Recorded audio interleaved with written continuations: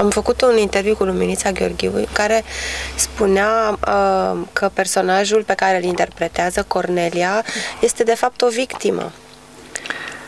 Este o victimă a propriei ei uh, iubiri duse până la, până la extrem și că Barbu, fiul ei, o, o încurajează, el a încurajat-o să fie așa, pentru că altfel, dacă ar fi pus el piciorul în prag, ei ar fi fost mai ușor să se desprindă de el. Tu cum vezi lucrurile? Nu, eu cred că amândoi sunt victime, nu numai uh, personajul Luminiței. Uh, sigur că și Luminița, personajul Luminiței Cornelia și este o victimă, dar uh, în aceeași măsură este și Barbu. Și cred că lucrurile astea funcționează împreună. Pentru că dacă stăm să analizăm uh, această relație, acestei familii uh, disfuncționale, totul pornește din de copilărie pentru Barbu, cel puțin. Adică e o familie în care uh, Cornelia nu se înțelege, nu uh, trăiește într-o relație falsă cu bărbatul ei și tot și investește totul în, uh, în copilul ei. Ceea ce duce la, la o legătură bolnăvicioasă până la urmă și uh, aici cred că dacă vrei să vorbim despre asta, cred că în ani, în zeci de ani de zile s-a construit această relație patologică și uh, toate frustrările Corneliei uh, le transmite cumva și vrea să le realizeze prin copilul ei, prin Barbu.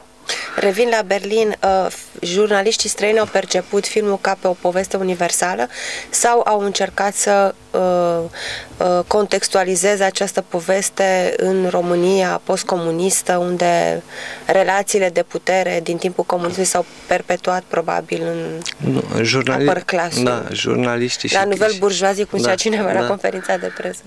Criticii și jurnaliștii serioși au înțeles despre ce este vorba. Uh, bun, filmul a fost prezentat în catalogul de la Berlin ca fiind uh, vorba despre un fel de nomenclatură, efectele uh, secundare cu high class-ul, au pus, au accentuat foarte mult corupția, poziția socială a celor două familii mă rog, între... Sunt lucruri care sar în ochi.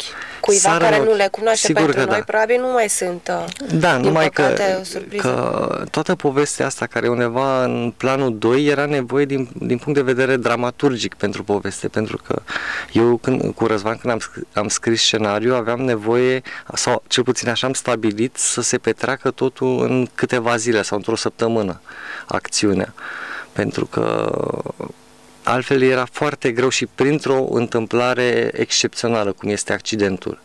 Pentru că altfel era foarte greu să descrii uh, toată această relație disfuncțională în această familie.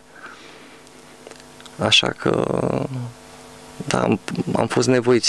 Sigur că au existat uh, și uh, uh, întrebări și păreri care vizau numai socialul și corupția, dar cred că au venit din partea unor jurnaliști mai uh, puțini. Care știau răspunsul de dinainte. Care probabil. știau de dinainte și speculau um, um, nu știu, excepționalul sau, uh, cum să spun, um, uh, partea uh, de publicitate senzațională, exact. Uh, cum, cât de greu v-a fost să scrieți scenariul și să ajungeți la povestea asta, că ați plecat de la altceva inițial?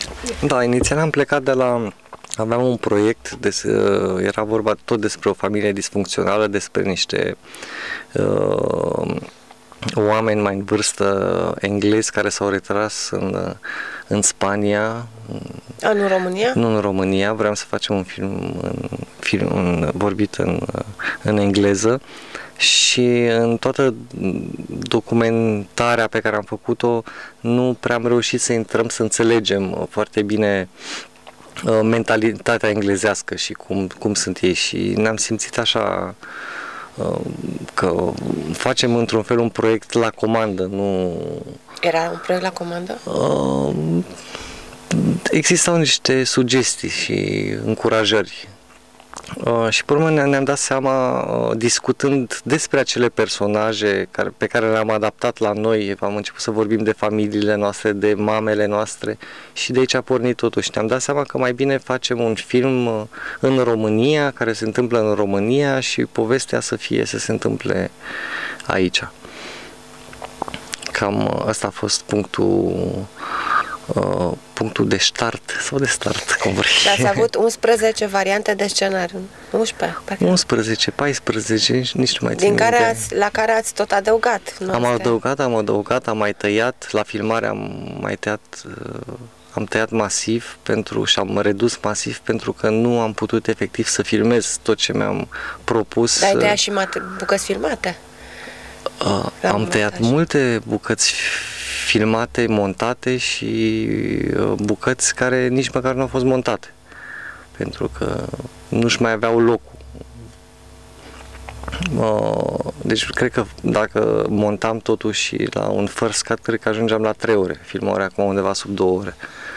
Și ar fi pierdut din ritm. Și ar, și ar fi pierdut din ritm, ar deveni mai, mai uh, greoi, mai greu digerabil și așa, acum mai mult mai alert și echilibrat de ce ai vrut să te concentrezi pe Cornelia? Pentru că Barbu, el apare foarte puțin și există da. mai mult în, în cadru, fără să existe fizic. Toată lumea vorbește despre el. Da, ne? păi în, în Păi despre asta e vorba. La, în scenariu, e, Barbu era mult mai prezent decât este acum în filmul final și uh, am tăiat secvențe, uh, multe secvențe cu Barbu.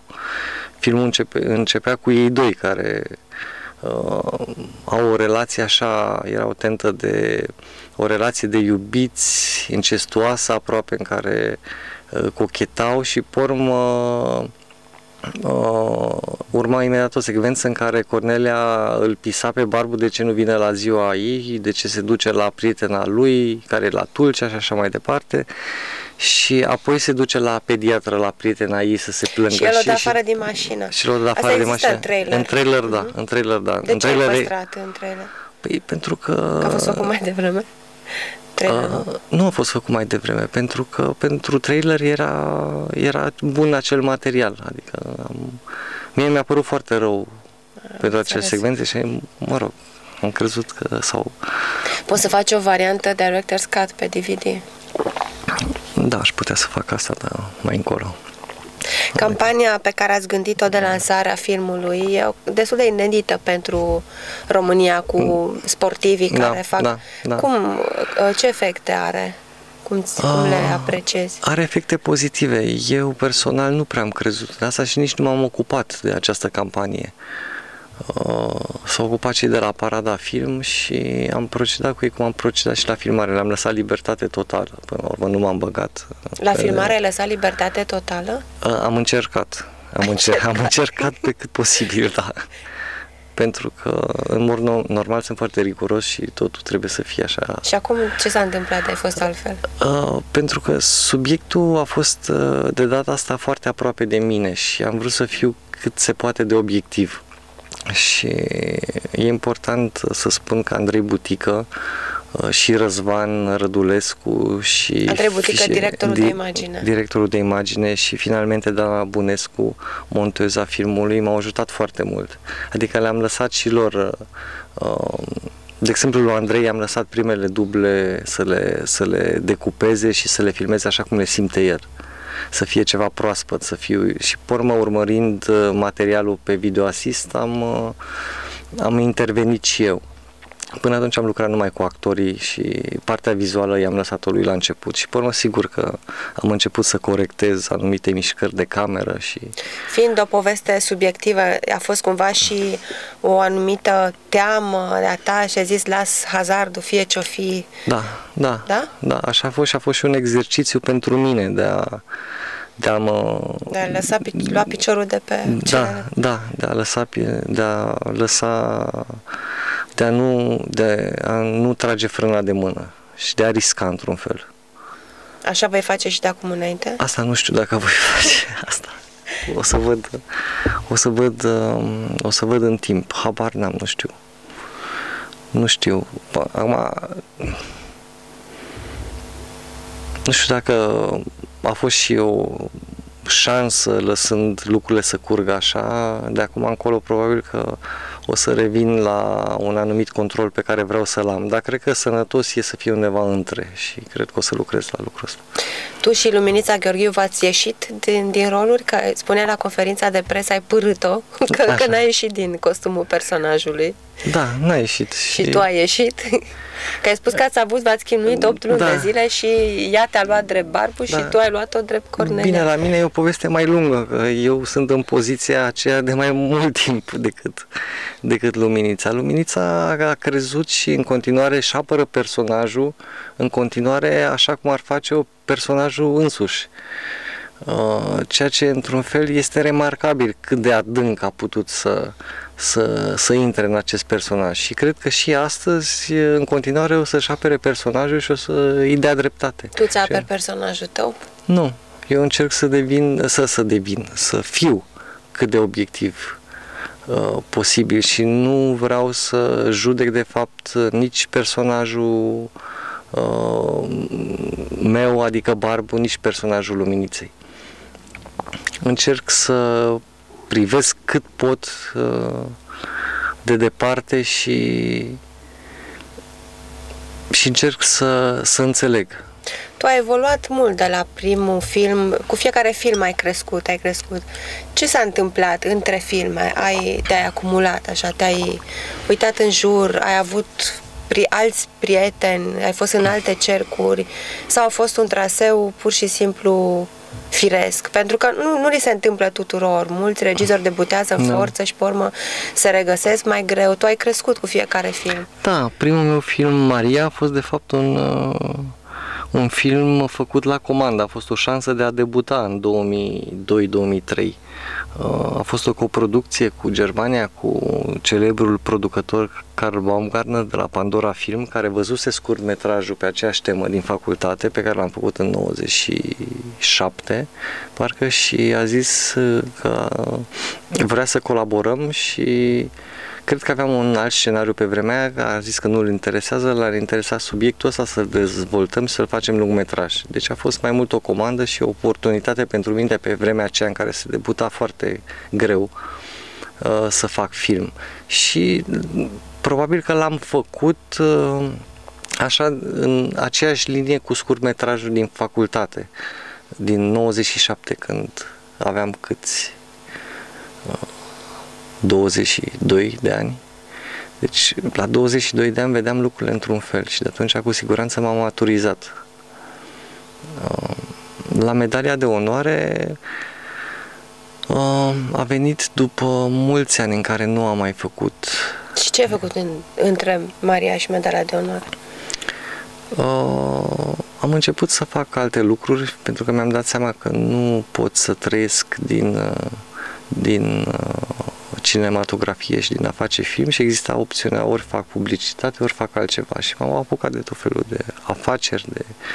Cum ai adus mașini din Germania? Nu, n-am adus mașini, dar tot un fel de bișnițărel am făcut cu imobiliare. Adică mi-am vândut apartamentul, atunci a fost boom ăla imobiliar și m-am ocupat de asta pentru un timp. Și apoi a, a apărut așa din țelin scenariul lui Tudor Voican, cu medalia de onoare și la o săptămână înainte de concursul CNC și am fost întrebat dacă vreau să-l fac sau nu. L-am citit, la început am ezitat, mi-a fost puțin teamă și am spus hai, să, hai să-l fac. Undeva am empatizat cu, cu subiectul și și acolo e vorba de fapt despre o familie disfuncțională, dar de data aceea, cu, de data asta cu, era vorba de tată-fiu.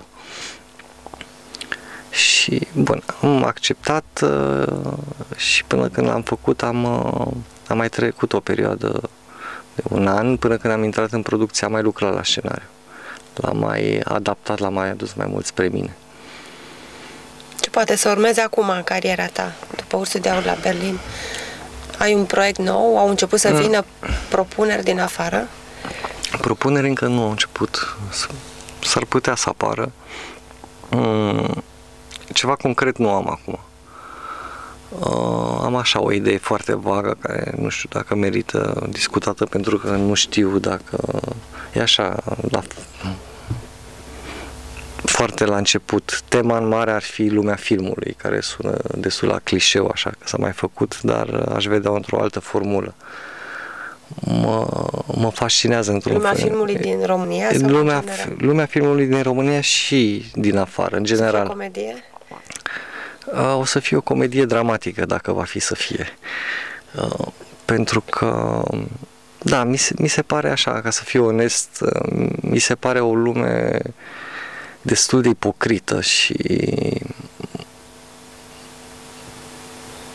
da, într-un fel, nu știu, nu știu dacă murdar e cuvântul potrivit, dar uh, m-am șocat de foarte multe ori uh, la anumite întâlniri sau uh, reacția anumitor uh, colegi din breaslă sau chiar și critici, chiar și festivaluri, adică e așa, simt că lumea aceasta până la urmă cumva este mai ipocrită decât po- po- poveștile noastre pe care le arătăm pe ecran și care sunt aplaudate și cred că asta este, e ideea de baza acestui proiect care nu știu dacă îl voi face. Este așa doar... O să te întreb uh, cu... Da.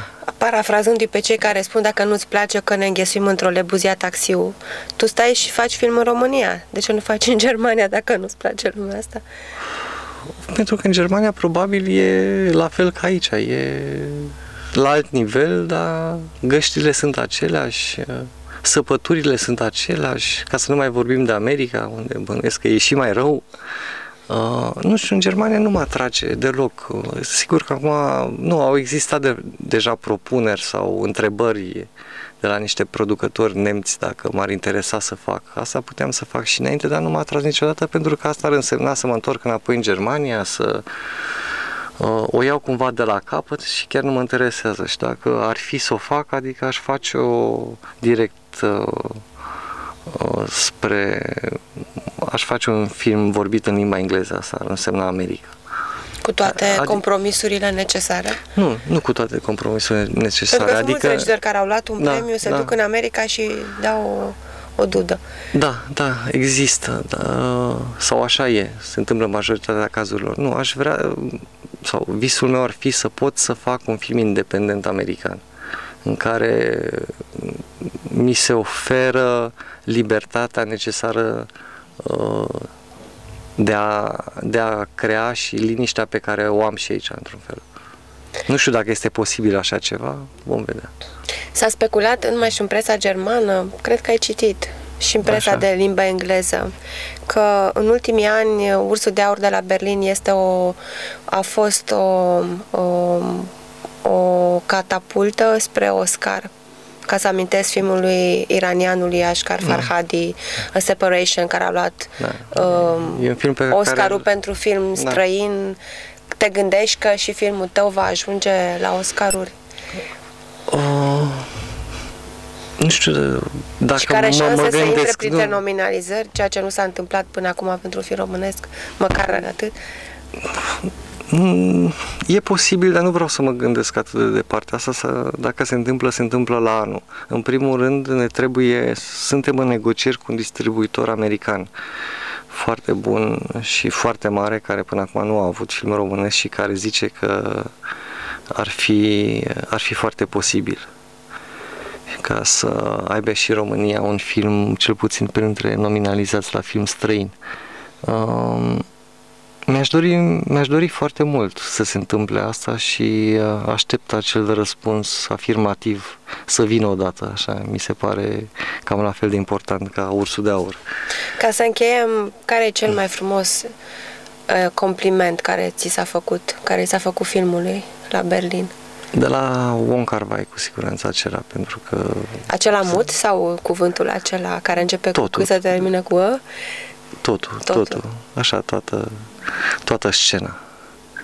Mi s-a părut așa foarte emoționantă, venind din partea lui, e un regizor pe care îl apreciez și sunt un fan al lui.